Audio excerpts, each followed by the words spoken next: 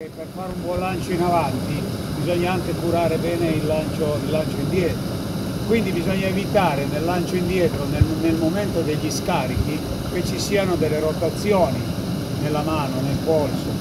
Per evitare che ci siano rotazioni un, un aiuto oggettivo può essere quello di nel lancio indietro quando vado a creare lo stop di seguire verso l'alto un attimino con la mano, andare leggermente verso l'alto e per avere un valore oggettivo e, ca e capire che lo sto facendo basta seguire linearmente la lenza che tengo nelle mani.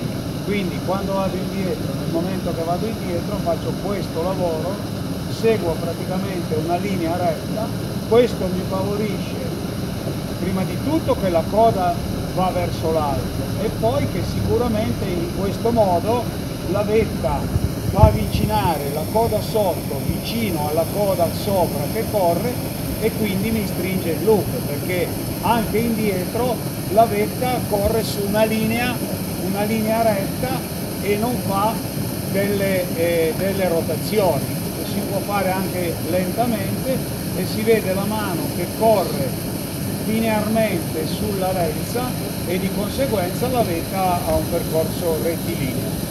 E poi da questo lancio indietro curato e corretto viene fuori un lancio in avanti eh, altrettanto buono. Quando, quando la, tu fai un lancio e blocchi subito la mano, no? fai questo, pam e blocchi, cosa succede? Da dietro parti, no? la coda è dietro, la canna è flessa dietro, parti in avanti, ti blocchi, quindi hai fatto un'escursione cortissima, la coda passa davanti velocemente perché? Perché bloccandoti tu hai frenato la parte sotto e hai dato accelerazione alla parte sopra. La difficoltà del controllo è riuscire a distribuire questa frenata nello spazio.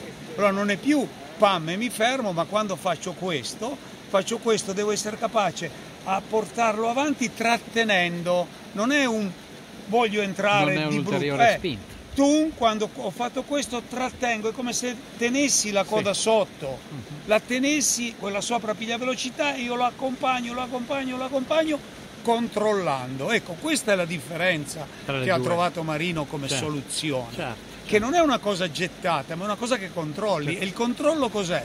È questo stop che viene distribuito nello spazio. Nello spazio viene distribuito nello spazio e quindi questo stop è, non è più uno stop ma è un controllo eh. della frenata certo. che ti permette di fare quello che vuoi poi di, di, di, far arrivare la mosca, farla appoggiare, di fermarla prima, di, di far crollare il sistema, certo. ma è gestire il tuo stop che hai imparato facendo stop, la coda va facendo le, i vari 1 a 11, 1 a 11, tan tan hai imparato gli uh -huh. stop, stop, stop, stop, stop, poi quando sei bravo il tuo stop diventa pam e lo porto, lo freno, lo freno e lascio la mosca che si appoggia.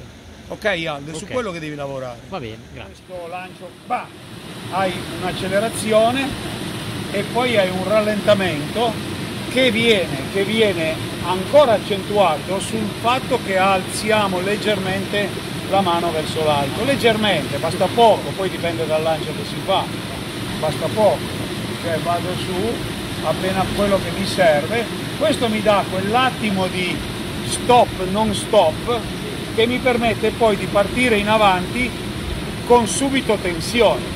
Quando parto in avanti ho subito tensione, non ho un vuoto, sento che la vetta è carica. Tutto sempre, sempre senza piegare il polso in quel momento. Quando parto in avanti con la vetta carica, se ho la vetta carica subito, mi basta poco spazio, invece che dover eh, andare avanti perché non ho ancora eh, carico sulla vetta, mi basta poco spazio e quella prende subito. Come, come io sono qua so che parto subito col carico, quindi mi basta poco. Se poi chiaramente con la mano accompagno il lancio, riesco a a, a diluire quello stop e lo faccio diventare un, un rallentamento e un controllo. Cioè quando vado in avanti, dopo che ho fatto questo, basta accompagnare con la vetta in maniera rettilinea e quella va via pulita, senza fare onde, bella pulita, con calma e posso controllare. Controllo anche posso rallentare, fermare, appoggiare, posso velocizzare, posso fare quello che voglio, posso curvare, fare, fare andare la coda come decido perché in quel, in quel tratto ho la possibilità di controllare. Ok?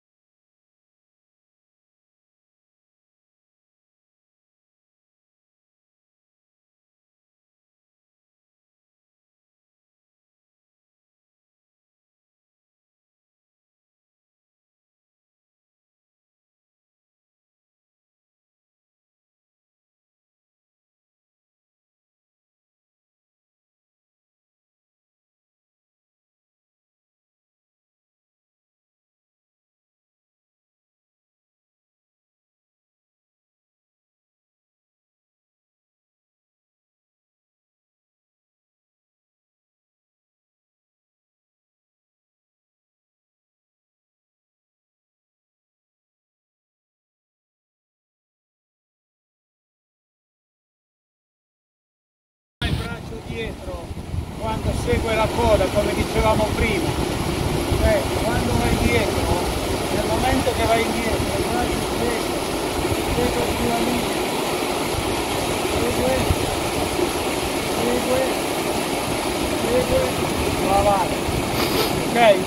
Cioè anche, quando, anche qua quando vai indietro non devi fermarti e vuotare il polso. Vai a, Sempre a seguire, a seguire. vai a seguire quando sei arrivato qua che segui ritorni vicino ritorni vicino quindi ritorni indietro e vai Tu. ah.